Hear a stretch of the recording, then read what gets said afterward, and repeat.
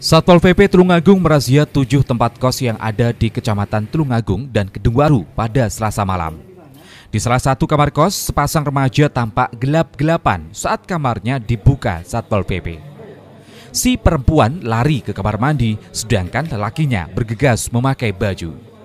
Dari hasil pemeriksaan identitas, pasangan ini dipastikan bukan suami istri.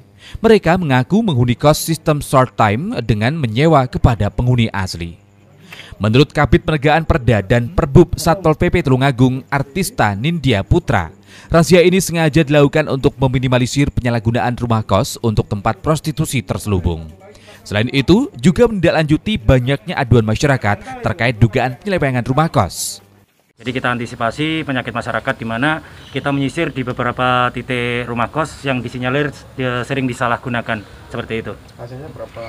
Hasilnya hari pada malam hari ini kita temukan enam pasang uh, bukan suami istri yang terjaring di beberapa wilayah kecamatan Tulungagung. Ada berapa titik kos pak?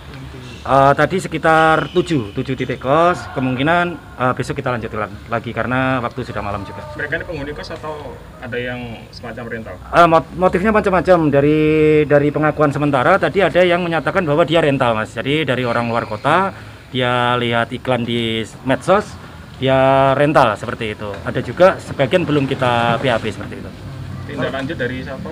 Tindak lanjut seperti biasa mas, jadi kita gali dulu, kita minta keterangan dulu apakah itu sudah menikah resmi atau belum. Kalau sudah menikah, kita manggilkan pasangannya. Bagi yang belum menikah, kita manggilkan kedua orang tuanya beserta kepala desa setempat seperti itu.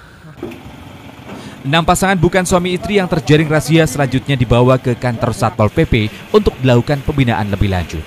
Agus Bondan, CTV, Tulung Agung.